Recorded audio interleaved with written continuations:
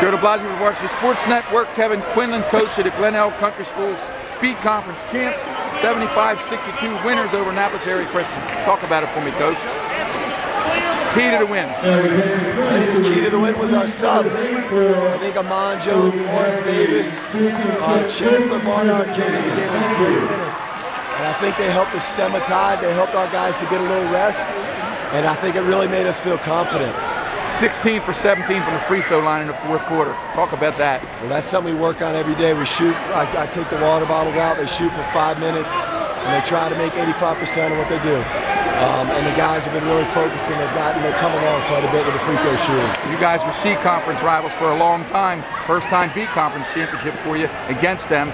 First time both of you were in this game. A little bit of history there. Talk about it. You know, I'm new here, so I don't know the history, but I've heard about it. Coach Reed would be a great one to tell you about that. But I know we've had some battles in the past. It's the first It's the first B conference championship for the school. I'm really happy for the school.